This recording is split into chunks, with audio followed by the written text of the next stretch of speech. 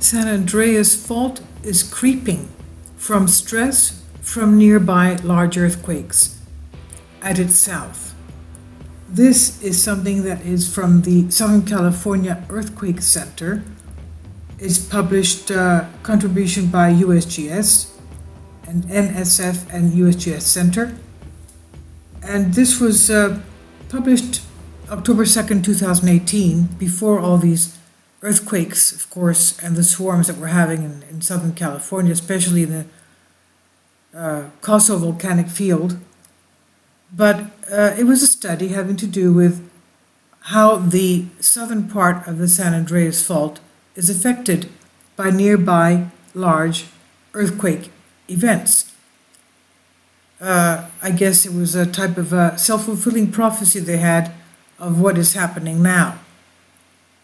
Now we know that we've had large nearby earthquakes to the southern San Andreas Fault because of what we just had July 4th, 6.4, and July 5th, 7.1.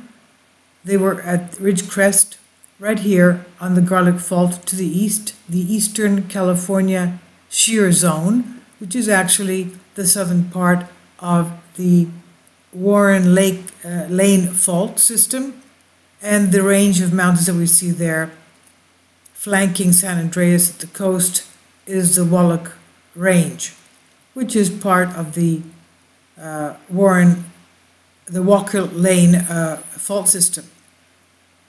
Here it is. The range is in yellow. The Walker Lane fault, as you can see, is basically parallel. You can see it better here parallel to San Andreas, and the uh, here again, the Garlock Fault is running from San Andreas perpendicular to it towards the Walker Lane Fault. San Andreas is the biggest fault in California, the longest fault. The Garlock Fault perpendicular to it is the second largest fault. Now, uh, what the Southern California Earthquake Center found surface creep rate of the southern San Andreas Fault modulated by stress perturbations from nearby earthquakes. The major challenge for understanding the physics of shallow fault creep has been to observe and model the long term effect of stress changes on creep rate. Here we investigate the surface creep along the southern San Andreas Fault, SSAF, using data from interferometric synthetic aperture radar spanning over 25 years, and Sentinel. The main result of this analysis, after their 25 year study, the main result of this analysis is that the average surface creep rate increased after the Landers event and then decreased by a factor of 2 to 7 over the past few decades. We consider quasi-static and dynamic Coulomb stress changes on the South San Andreas Fault due to these three major events. From our analysis, the elevated creep rates after the landers can only be explained by static stress changes indicating that even in the presence of dynamically triggered creep, static stress changes may have a long lasting effect on the South San Andreas creep rates.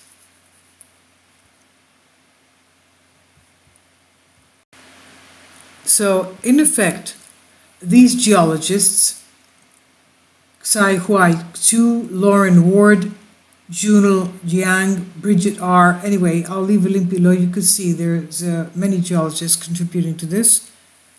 They are actually confirming, and they're of course part of the USGS, they're actually confirming that large nearby earthquakes do affect the South San Andreas Fault. They're talking about the southern area earthquakes, the large earthquakes. And of course, what we have had here was large. It was 7.1 and also the 6.4. And they say that the 7.1 lasted about half a minute. And we've even had cracks and fissures from what they've uh, told us. Now, we have earthquake swarms for thousands a day. There, they can't possibly plot all of them, but there has been an increase of uh, the size of them, even though they should be decreasing. They're about uh, around four, there's quite a lot that are about, about four magnitude. And uh, that's a little bit worrisome for the geologists because they should be decreasing in size. They're also meandering towards the northwest, towards Mount Whitney. Now, Mount Whitney is only 30 kilometers from Ridgecrest. Uh, I just measured it. Is it 30 from, yeah, from, no, from Kelso Junction. 30 kilometers from, uh, not kilometers, I'm sorry, miles, 30 miles from Kelso Junction and about 80 miles from the center of the Long Valley caldera. Now, the Long Valley caldera, as we know, is a supervolcano. And it's, we don't measure the supervolcano from the center because, of course, it has a very wide uh, area. So that's worrisome to me, the fact that these earthquakes, of course, are in a volcanic field. And another thing that we see is that the Walker Lane fault is a very significant fault system. It's locked into the Garland fault here that we see, perpendicular to the San Andreas. And that is uh, uh, the Garlock, Garland is locked in with San Andreas uh, to the west, and it's also uh, Garland fault is locked with the Walker Lane fault to the to the east, and the whole thing is lo- is locked in like an oval. And this whole system, especially the Walker Lane fault, is pushing northwards towards the Cascadia Arc. That's perhaps why the Vancouver earthquake of July 3rd, that was off the um, North Vancouver Island, Canada, the 6.2 earthquake, 13 hours later, affected the 6.4 earthquake July 4th in Ridgecrest. 13 hours later. And that happened again four years ago in 2015. The same exact area off Vancouver Island gave a 6.2 magnitude earthquake, and 24 hours later, they had a moderate size 3.5, something like that, magnitude again at Ridgecrest. So these geologists here, surface creep rate, South uh, San Andreas Fault, modulated by stress perturbations from nearby large events, which is in, in effect this one here. So it does have, the Ridgecrest does have an effect on the San Andreas Fault to the south in the Los Angeles area. And we'll have more on this as the day goes by because there's a lot of details that we have available to us by Southern California Earthquake Center and other uh, geological sites, other agencies.